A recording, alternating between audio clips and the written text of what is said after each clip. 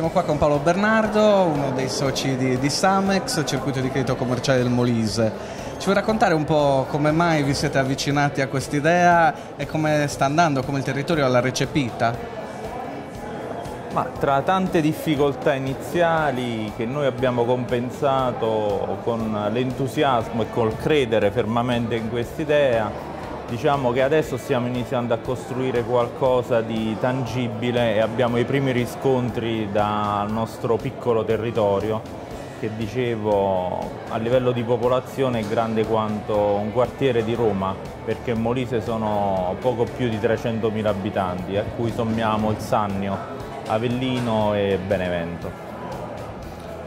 Rispetto a questa nuova concezione di credito, di denaro, in che modo pensi che questa, questo nuovo modo di affrontare lo sviluppo locale, l'economia locale, ma anche le relazioni locali, possa effettivamente modificare, diciamo, anche in termini di impatto sociale,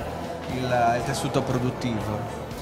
Ah, stiamo parlando di una realtà eh, depressa dove c'è un tasso di disoccupazione altissimo, per cui io credo che si possa creare realmente un circolo virtuoso per eh, creare posti di lavoro, eh, far aumentare il prodotto interno lordo su base regionale o interregionale e quindi con questo circolo virtuoso le ricadute sociali dal punto di vista occupazionale le vediamo anzi abbiamo già assunto 5 persone e prevediamo di assumerne altre man mano che cresciamo come circuito.